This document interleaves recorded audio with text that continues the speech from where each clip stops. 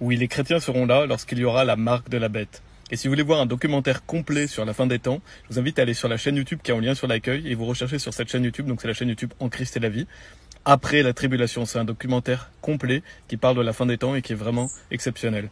Donc je vais donner un bref timing de l'apocalypse dans cette vidéo. Déjà il faut savoir que donc il y aura trois ans et demi, environ trois ans et demi de tribulation, ce que la Bible appelle le commencement des douleurs. Et donc ça va durer trois ans et demi. Ensuite, l'Antichrist va se déclarer être Dieu, ce sera l'abomination de la désolation. Donc beaucoup de gens vont l'adorer, il va donc mettre en place la marque de la bête et il y aura 75 jours de grande tribulation. Et après ces 75 jours de grande tribulation, Jésus-Christ revient dans les nuages il prend les, les, les sauvés avec lui, donc c'est l'enlèvement. Et après l'enlèvement, Dieu va déverser sa colère sur la terre qui va durer trois ans et demi. La Bible montre clairement, notamment dans Matthieu chapitre 24, que l'enlèvement a lieu après les tribulations. Dans Matthieu chapitre 24, verset 29, il est dit immédiatement après la tribulation de ces jours-là, le soleil s'obscurcira et la lune ne donnera pas sa lumière et les étoiles tomberont du ciel et les pouvoirs des cieux seront ébranlés.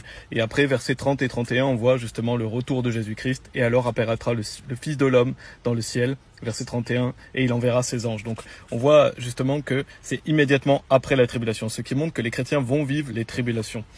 Et donc après, il y a ce qu'on appelle la grande tribulation.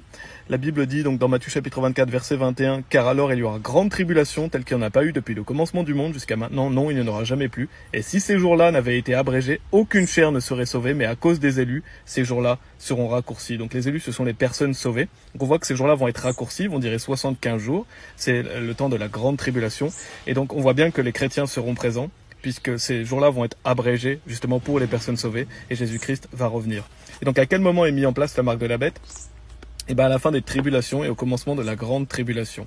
Dans Apocalypse chapitre 13, on peut lire notamment au verset 16 et 17 et elle fait que tous, aussi bien petits que grands, riches et pauvres, libres et asservis, reçoivent une marque dans leur main droite ou dans leur front, et aucun homme ne puisse acheter ou vendre, sauf celui qui avait la marque ou le nom de la bête ou le nom de son nom. Donc on voit que l'Antichrist va mettre en place la marque de la bête. Et la marque de la bête, il est dit au verset 7, et il lui fut donné de faire la guerre aux saints et de les vaincre, et le pouvoir lui fut donné sur toute parenté et langue et nation. La marque de la bête va être mise en place justement pour que les chrétiens soient mis à mort. Donc on voit bien que les chrétiens seront présents. Et je vous invite à voir, j'ai déjà fait des vidéos notamment sur le fait de comment pas prendre la marque de la bête. Il faut s'assurer d'être sauvé. Et j'avais dit aussi dans une autre vidéo qu'un chrétien ne prendra pas la marque de la bête. Toutes les personnes sauvées ne prendront pas la marque de la bête. Seules des personnes non sauvées vont prendre la marque de la bête. Donc je vous invite à voir ces deux vidéos où j'en avais déjà parlé. Donc oui, les chrétiens vont être présents, ceux qui seront en vie en tout cas à ce moment-là. Et il faut savoir que 75 jours justement après l'abomination de la désolation, Jésus-Christ revient. Et donc quand on a cru en Jésus-Christ, de toute façon, on est vainqueur, on n'a pas à avoir peur de ces, de ces choses-là. Servons Dieu et louons Dieu. Amen.